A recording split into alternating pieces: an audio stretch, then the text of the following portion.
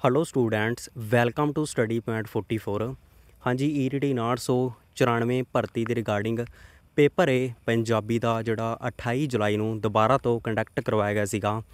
ਤਾਂ ਉਹਦਾ ਜਿਹੜਾ ਫਾਈਨਲ ਰਿਜ਼ਲਟ ਹੈ ਉਸ ਨੂੰ ਆਊਟ ਕਰ ਦਿੱਤਾ ਗਿਆ ਹੈ। ਇਸ ਵੀਡੀਓ ਦੇ ਵਿੱਚ ਤੁਹਾਨੂੰ ਦੱਸਾਂਗੇ ਅ, ਤੁਸੀਂ ਰਿਜ਼ਲਟ ਨੂੰ ਕਿੱਦਾਂ ਡਾਊਨਲੋਡ ਕਰਨਾ ਹੈ। ਸੋ ਵੀਡੀਓ ਦੇ ਲਾਸਟ ਤੱਕ ਤੁਸੀਂ ਜ਼ਰੂਰ ਬਣੇ ਰਹਿਣਾ ਇੱਥੇ ਮੈਂ ਐਜੂਕੇਸ਼ਨ ਰਿਕਰੂਟਮੈਂਟ ਬੋਰਡ ਸਰਚ ਕੀਤਾ ਹੋਇਆ ਬਰਾਊਜ਼ਰ ਦੇ ਉੱਪਰ।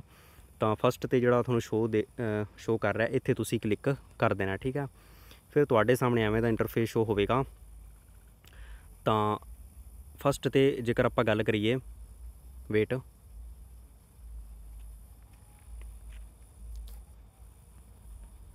ਹਾਂਜੀ, ਇੱਥੇ ਤੁਸੀਂ ਦੇਖ ਸਕਦੇ ਹੋ E ETT 994 result Punjabi held on 28/7/2024 ਇੱਥੇ ਮੈਂ ਕਲਿੱਕ ਕਰ ਦਿੰਦਾ। ਤਾਂ ਆਪਣੇ ਸਾਹਮਣੇ ਜਿਹੜੀ ਰਿਜ਼ਲਟ ਦੀ ਪੀਡੀਐਫ ਹੈ, ਉਹ ਡਾਊਨਲੋਡ ਹੋਣੀ ਸ਼ੁਰੂ ਹੋ ਗਈ ਹੈ। ਠੀਕ ਹੈ ਇਹ ਤੁਸੀਂ ਦੇਖ ਸਕਦੇ ਹੋ ਡਾਇਰੈਕਟ ਤੁਸੀਂ ਅਫੀਸ਼ੀਅਲ ਵੈਬਸਾਈਟ ਤੇ ਕਲਿੱਕ ਜਿਹੜਾ ਵਿਜ਼ਿਟ ਕਰਨਾ। ਬਾਕੀ ਟੈਲੀਗ੍ਰਾਮ ਗਰੁੱਪ ਆਪਣਾ ਇੱਕ ਬਣਿਆ ਹੋਇਆ ਤਾਂ ਉੱਥੇ ਤੁਸੀਂ ਜਿਹੜਾ ਰਿਜ਼ਲਟ ਦੇਖ ਸਕਦੇ ਹੋ। ਠੀਕ ਹੈ, ਉੱਥੇ ਮੈਂ ਇਸ ਦੀ ਪੀਡੀਐਫ ਜਿਹੜੀ ਅਪਲੋਡ ਕਰ ਦਾਂਗਾ, ਜਾਂ ਆਪ ਜਿਹੜੀ ਪੀਡੀਐਫ ਉੱਥੇ ਵੀ ਤੁਹਾਨੂੰ ਪ੍ਰੋਵਾਈਡ ਹੋ ਜਾਏਗੀ। ਤਾਂ ਆਪਣਾ ਤੁਸੀਂ ਰਿਜ਼ਲਟ ਚੈੱਕ ਕਰਕੇ ਦੇਖ ਲੈਣਾ। ਵੈਸੇ ਤਾਂ ਜਿਹੜੀ, ਜਦੋਂ ਆਨਸਰ ਕੀ ਆਊਟ ਹੁੰਦੀ ਤਾਂ ਉਦੋਂ ਵੀ ਤੁਹਾਨੂੰ ਨੰਬਰਾਂ ਦਾ ਪਤਾ ਲੱਗ ਜਾਂਦਾ ਕਿ ਨੰਬਰ ਸਾਡੇ ਕਿੰਨੇ ਬਣੇ ਨੇ।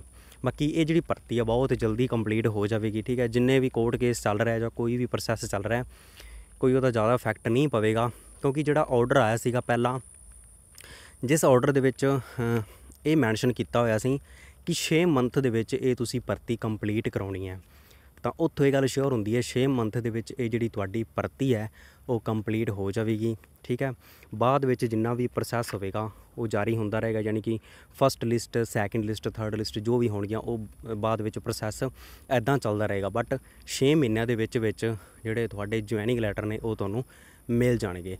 ਚਾਹੇ ਕੋਈ ਵੀ ਕੋਰਟ ਕੇਸ ਚੱਲ ਰਿਹਾ ਹੈ, ਕਿਉਂਕਿ ਆਰਡਰਾਂ ਦੇ ਵਿੱਚ ਸਾਫ਼-ਸਾਫ਼ ਮੈਂਸ਼ਨ ਕੀਤਾ ਸੀ 6 ਮਹੀਨਿਆਂ ਦੇ ਵਿੱਚ ਪੇਪਰ ਇਹ ਦੁਬਾਰਾ ਤੋਂ ਕੰਡਕਟ ਕਰਵਾ ਕੇ ਜਿਹੜੀ ਭਰਤੀ ਹੈ ਇਸ ਨੂੰ ਕੰਪਲੀਟ ਕੀਤਾ ਜਾਵੇ।